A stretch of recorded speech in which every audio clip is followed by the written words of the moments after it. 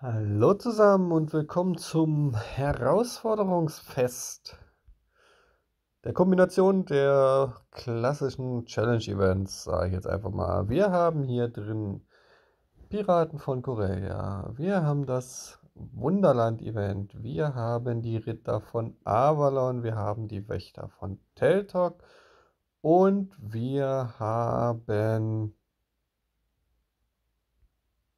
Nummer 5. Hallo. Ähm, Wunderwald oder ja genau, die, der Waldmist halt. Da wo auch Schneewittchen dabei ist, quasi. Genau, die fünf müssten es sein. Wenn ich eins vergessen habe, dann schreibt es bitte in die Kommentare. Was ist hier ganz speziell zu beachten? Also wir haben keine komplizierte, keine komplizierte Eventmechanik wie in den neueren Events. Ähm, wir haben ein klassisches altes Event, 10 selten, 10 episch, 10 legendär. Das heißt, der Zeitaufwand lässt sich überschauen. Ähm, wir haben reflektierende Etappen, beziehungsweise Gegner mit Reflekt. Das, was man beachten muss hier, ihr seht schon, ich habe die erste gespielt und dann bei der zweiten gemerkt, oh ja, genau das habe ich erwartet bei diesem Event. Ähm, die Reflexionen ändern sich von Etappe zu Etappe. Das heißt, ihr könnt nicht alle zehn Etappen mit ein und demselben Team durchspielen. Voraussichtlich nicht.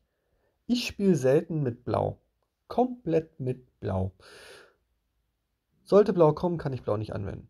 Also sollte der blaue Reflex kommen, dann spiele ich mit Grün. Aber alles weitere, das wird ein relativ kurzes Infovideo. Äh, ihr seht hier mein blaues Event-Team. Und ja, es geht, äh, wie schon öfter beschrieben, da, darum, nicht zu viel Zeit zu verwenden, viele Kombinationen zu haben. Und, oh, das ist neu. Das habe ich ja noch gar nicht gesehen. Okay, gut, dass wir das spielen. Ist hier ein Biom? Wächter von Teltok, äh, Minus 50% Angriff für Lila.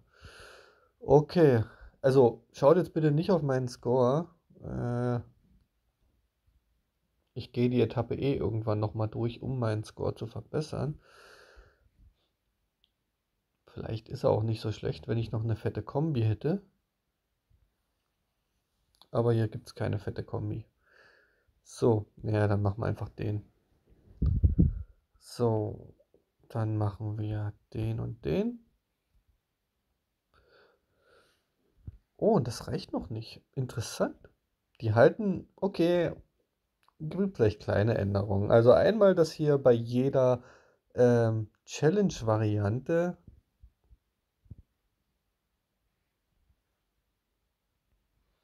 Elementarwiderstand, achso, das muss man, kann, kann man sich vielleicht gleich nochmal durchlesen. So, wie spielt man das denn am schlausten? So.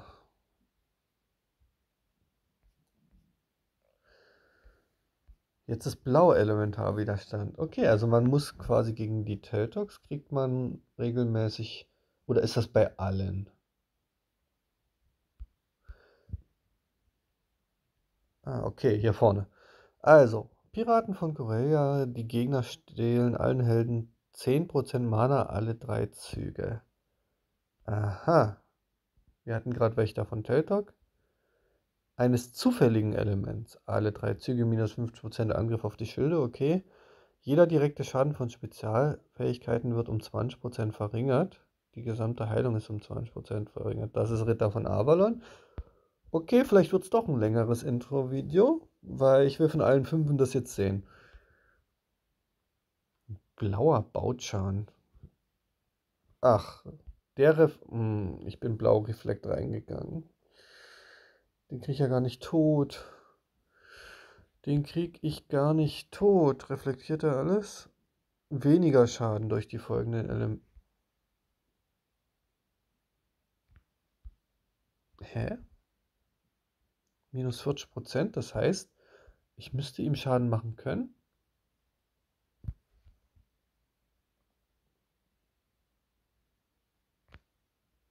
Jetzt bin ich verwirrt. Erleidet weniger Schaden.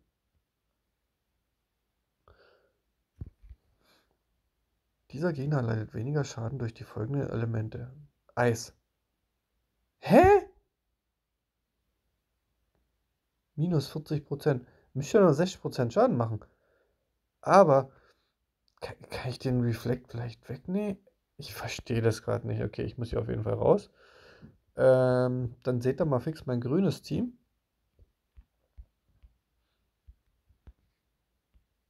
So, was nicht äh, komplett oder perfekt ist.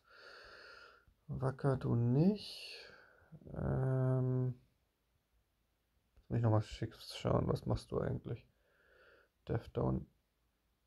Death Down ordentlich, da brauche ich vielleicht doch den Wacker. Vielleicht wollen wir noch einen Attack-Up mitnehmen. Ach ja, hier. Sie muss mit. Ausrüsten. Und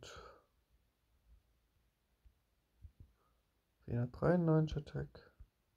545, du kommst mit. So. Und natürlich, das passt. So, jetzt, wenn du so ein stark. Hello? War das gerade mein Schaden? Oder sah ihr vorher schon so beschissen aus? Ähm. Oh, kriege ich das irgendwie hin? Ja, kriege ich irgendwie hin. So, zack. Reicht er?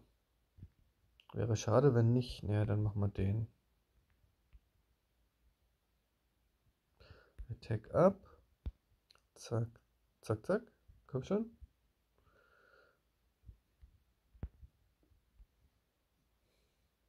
Warum drücke ich nicht den grünen Diamanten? Weil so wenig grüne Teile sind. So.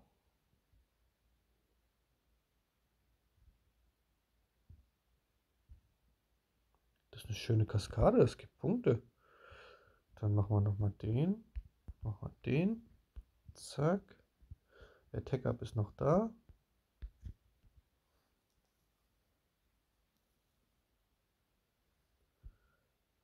Ach, wer grün hinterher kaskadiert, wäre es echt nice gewesen. Die hat ein bisschen mehr Lebenspunkte als die anderen. Okay. Alles klar. Ach, wir können ja hier weiter gucken. Okay, was Rätsel ist Wunderland das Element. Aller Helden ändert sich alle drei Züge in ein anderes Element. Ih. Wunderland reflektiert dann sehr wahrscheinlich grün. Und Märchen aus dem Grimmwald reflektiert rot und beschwört für alle Helden, für alle Helden, alle drei Züge einen Grimmwald. Fiend! Ah, ein Feind. Das heißt, man muss in der Theorie hier mitnehmen oder in weniger als drei Zügen fertig sein. Okay.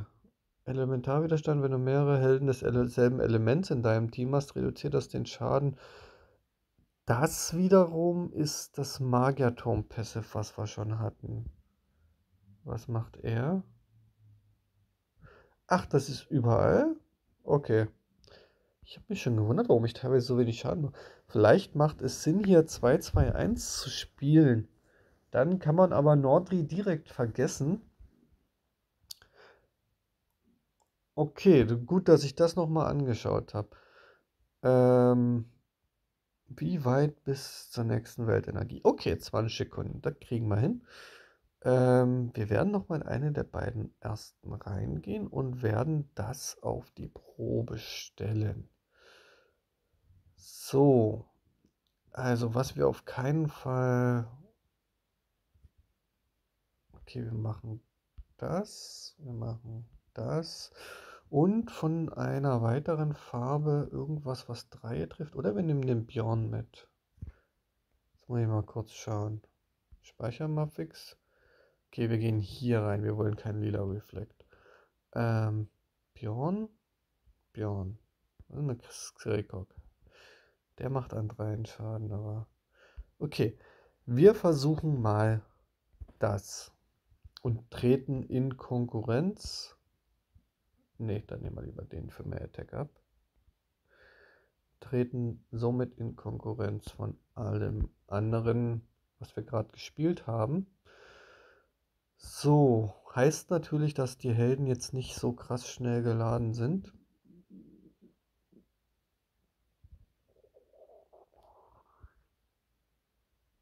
Keinen Heal dabei, das ist aber eigentlich bei Events immer so. Vielleicht ähm, wird sich das in diesem Event. Okay, wir haben grün Attack Down bekommen für die Schilde. Das ist natürlich weniger schön. Ähm, mal erstmal den. Kriegen wir garantiert gleich noch für eine andere Farbe.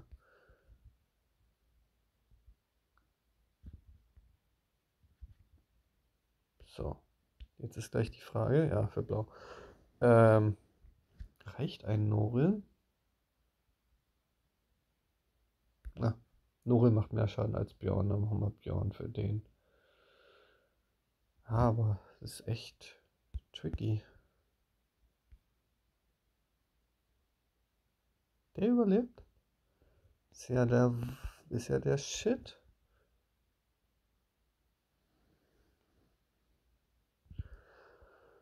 So. Ist halt wirklich die Frage, ob Mono trotzdem der Way to go ist oder nicht. Also ich könnte mir vorstellen, dass bei 4 ähm, und 5 Sterne die Triple-Hitter, die heftigen Triple-Hitter der Way to go sind.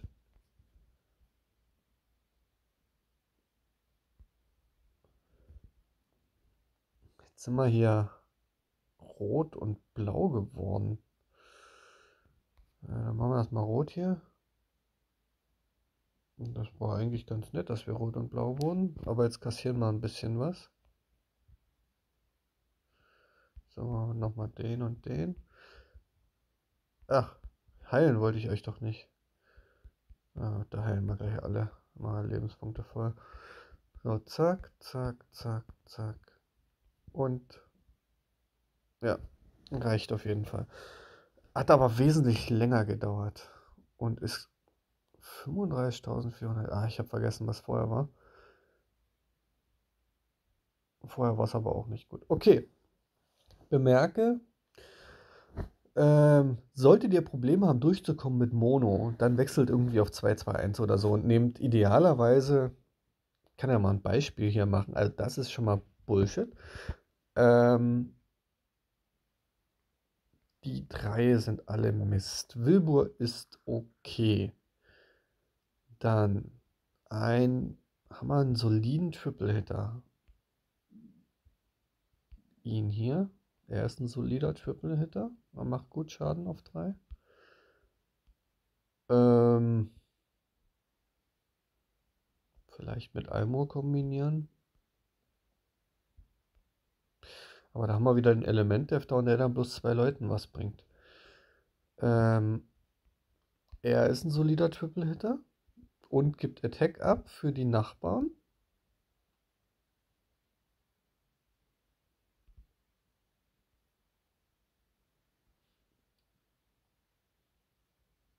Haben wir noch bei Lila noch einen Triple-Hitter? Ne. Äh, nicht bei Lila, bei Blau, Grün oder Rot. Was tust du denn eigentlich? Hm. Ja, Scarlet ist ein Triple-Hitter, aber die hittet nicht hart, die hittet hart mit Auto-Attacks. Gormek hittet auch nicht wirklich hart. Außerdem haben wir schon Death Down.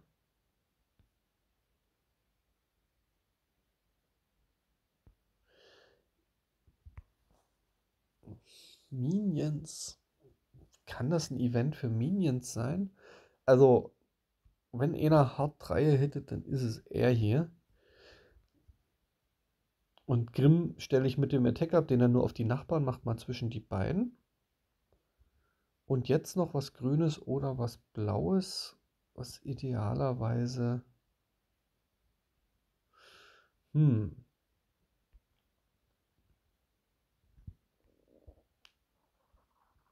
Crit Attacker, hm, weiß nicht. Weiß nicht, weiß nicht. Schwierig, ehrlich gesagt. Ein zweiter Grimm mit dem Deathdown als Variante wäre vielleicht nicht komplett falsch. Möglich wäre dann natürlich auch noch ein Wukong. Ja. Dass man so spielt.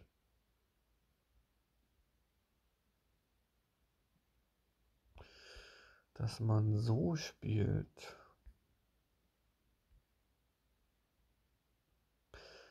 Nebel ist auch noch eine Variante.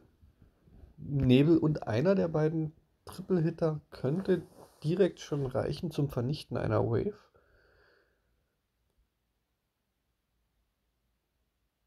Und slowt äh, im Finale die drei Gegner runter. Vielleicht ist Nebel auch ein guter Call.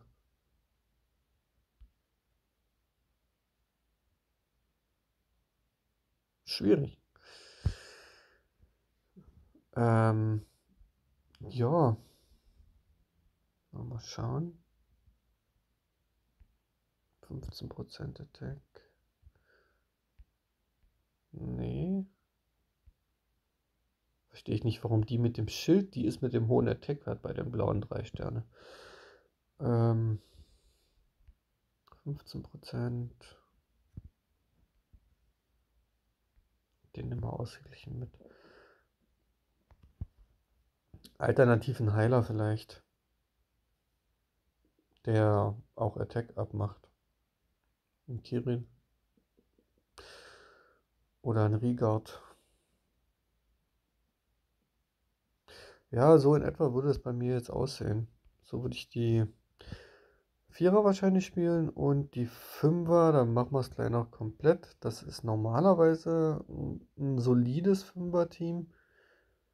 Ähm, in dem Moment jetzt nicht. Ihr seht, Frieda sieht gut aus mittlerweile.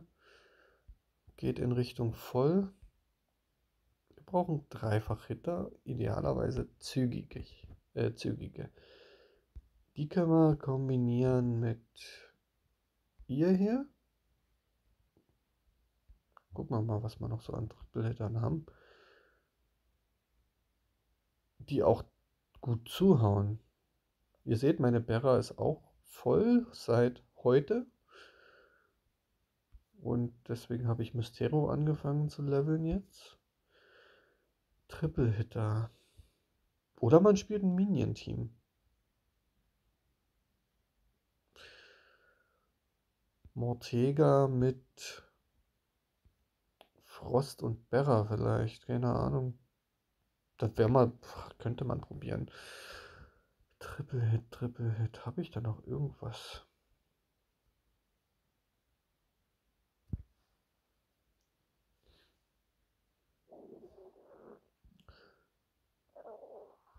alle Verbündeten erhalten. Zählt das Verbündete auch für die Minions? Ich weiß es nicht. Ich wollte das schon ewig mal rausfinden, testen, aber ich habe es noch nicht gemacht. Triple Hit.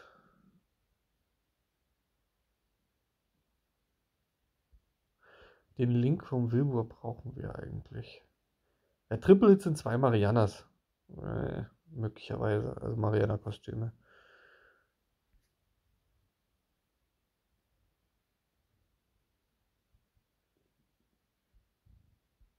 Kann natürlich auch mit Ludwig arbeiten. Wenn man ihn schnell vollpumpt und auslöst, dann äh, sind die daneben relativ schnell immer wieder voll. Onatel ist ein Triple-Hitter. Aber nicht so heftig. Hm.